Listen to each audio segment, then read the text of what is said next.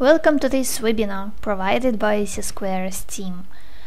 During this webinar, we will speak how to save months and millions in exploration and production decisions using Udomore Depths, an Ocean plugin to Petrel. We'll cover such topics as how does Udomore Depths work, who will benefit using Udomore Depths and why, and finally we will show you case study in Udomore Depths. A lot of people in oil and gas world are thinking as the finger of the Auguste Rodin, to drill or not to drill. And if to drill, where to drill?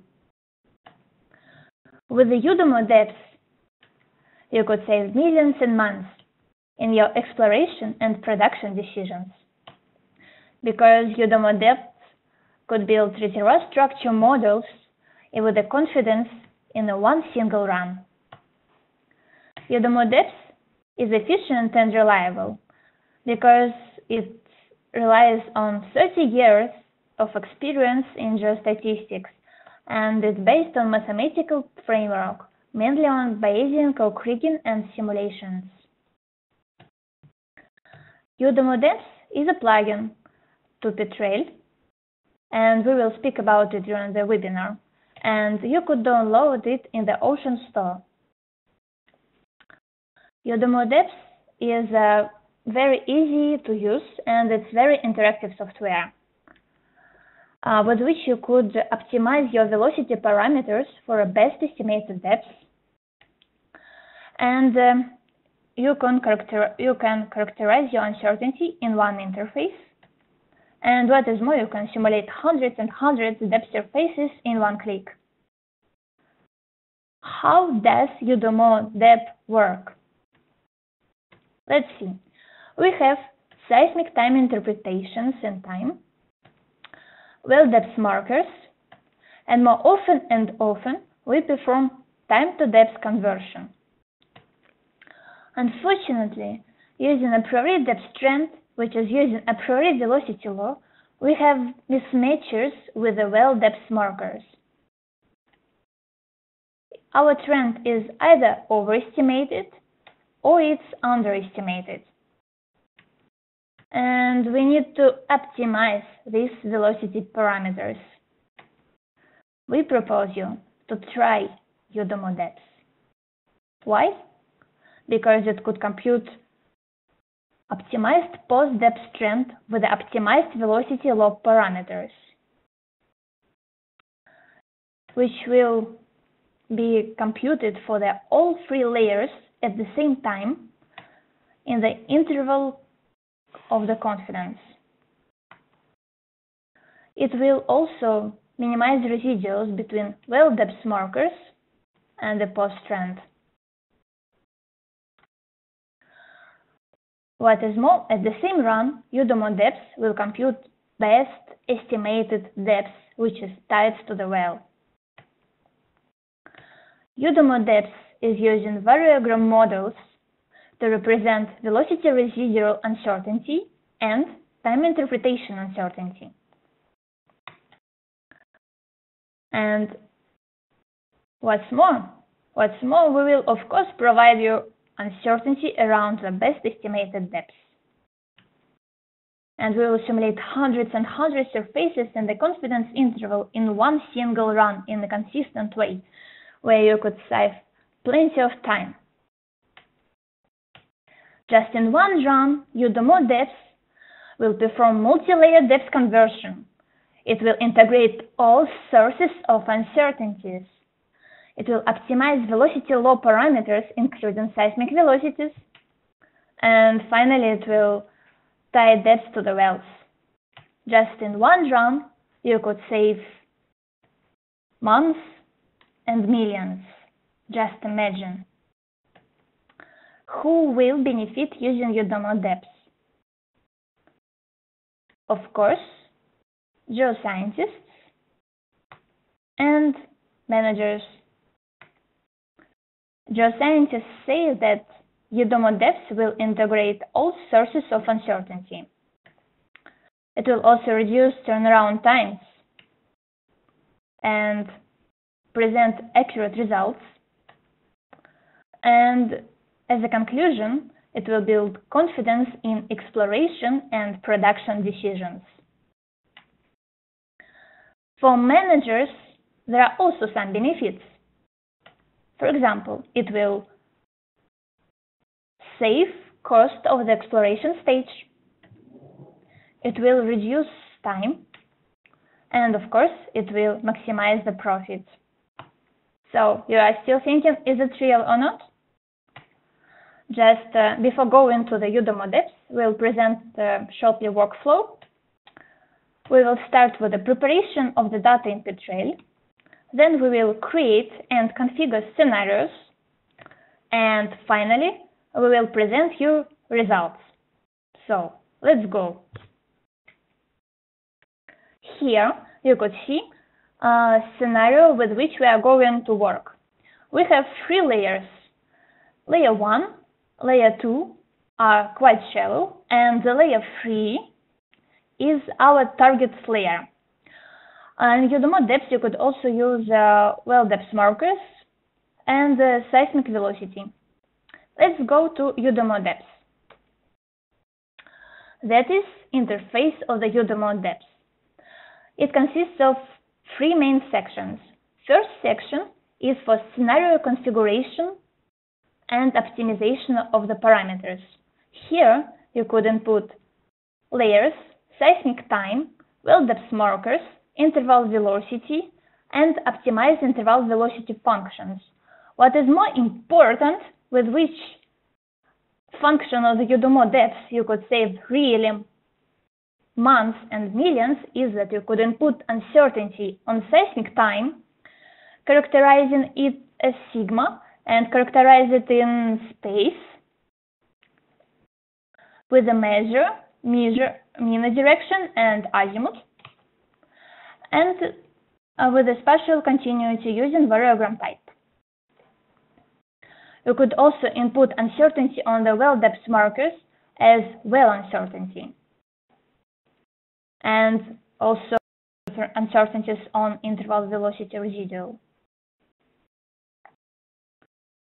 Um, regarding velocity, Udomore is using two kinds of velocity. In blue, you could see velocity which is proposed by default based on a priori studies, and in orange, that is the best estimated velocity computed by Bayesian co-kriging.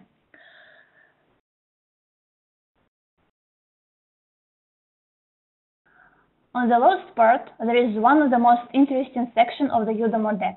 Here you could control your velocity model with the help of the depth mismatch statistics, we could see the mismatch of the prior trend with the well depth markers, this match with the post trend with the pre with the well depth markers, and uh, visualization of these mismatches you could see the depth plot, where there is estimated depth versus well in blue. Uh, you could see values of the depths uh, using uh, value in blue, which is set by default, and in orange, uh, there is a depth using best estimated velocity. By the way, in Udomore depth, you could integrate as much scenarios as you want and change them just in one click. So let's define the third layer. Uh, we will input uh, seismic time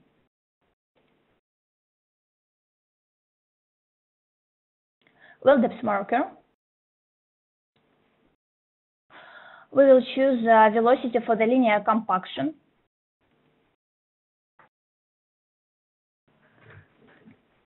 And now you see that our velocity already started to be optimized. Depth strength is optimized for, for the two first layers, for the layer 1 in the corner of the depth plot and for the layer 2. However, depth uh, for the layer 3 is not really optimized. And we will optimize it um, with a compaction factor, which is proposed by Udomore Depth. Now, uncertainty mismatch is 8 meters. Let's see what is going on. 6,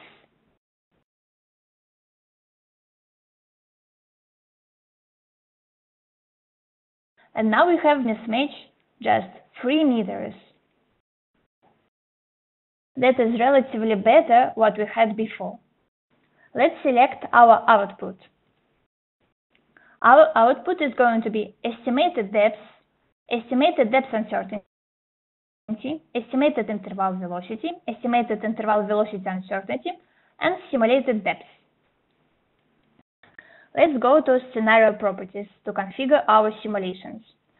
We could compute and simulate as much surfaces as you want. However, now we will perform just 20. I would like you really to pay attention on what is going on to be now, because this operation, which integrates all sources of uncertainties on seismic time, well depth markers, interval velocity, will be computed just in some seconds. So, let's run. In the task manager, you will see the timing of the operation.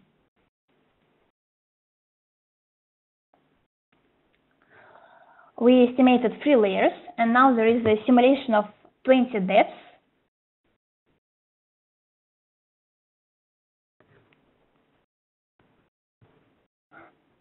So we are near to finish.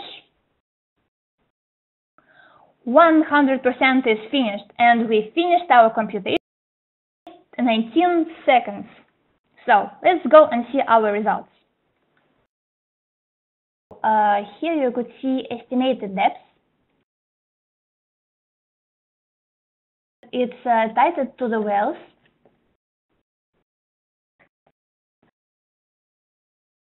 But also estimated depth uncertainty. Here, uh, there is uh, zero uncertainty uh, near the well depth uh, markers. According to our color scale, it's in uh, white and yellow. however, further from the wells, it's near 40 meters. It means that in this place, uh, you could uh, find our estimated depth of the reservoir in the range of the 2 sigmas plus minus. It means in the range of uh, 2 times 40 plus minus confidence interval.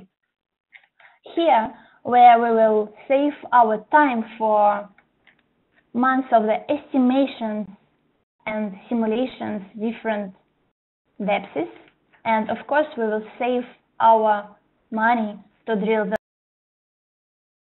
the right place. We computed also estimated interval velocity, which is tied to the wells, and we computed estimated interval uh, velocity uncertainty. You could see that near the wells it's all heated. Further from the wells, it's uh, 95 meter per second uh, uncertainty We will perform some simulations uh, which are going to be defined in the confidence interval of the two times uh, depth uncertainty. Here you could see the cross section where we are going to perform simulations.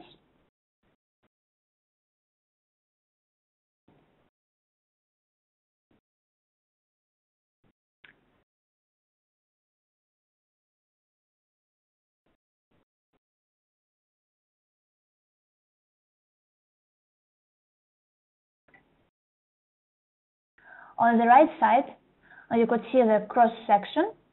Uh, in the red, uh, there is the confidence interval. And let's run our simulations and the models are going to be on the left.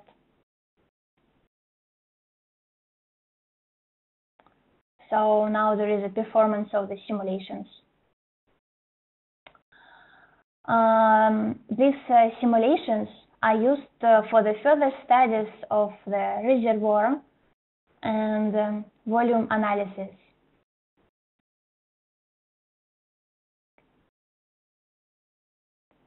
Let's see results of the gross rock volume computations.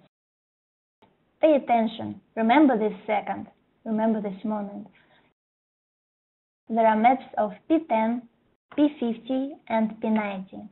These maps are not just in between, These maps are really integrates all sources of uncertainties and it relies on objective criteria.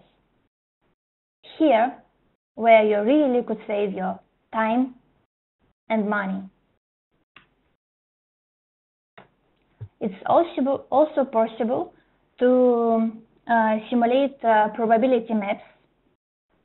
Uh, for example, probability to hit target about contact or spill point, hydrocarbon column, uncertainty on hydrocarbon column. Uh, these uh, probability maps could help you to study geometry of the reservoir and to understand other reservoirs are connected between each other or not. And experience shows that up to 30% more accurate results are provided on the gross rock volume with the Udomore depth. Are you running out of time? The Square has created a special offer especially for you. We provide time to depth conversion less than in 3 hours instead of 1 month and 30 day free evaluation period of Udomore Depths including technical support. Download Udomore Depths from Ocean Store and you will get geostatistical models on the fly all uncertainties on several layers in one single run, and confidence in drilling decisions. Contact us seisquare at seisquare.com. Thank you very much for watching this webinar. Have a good day!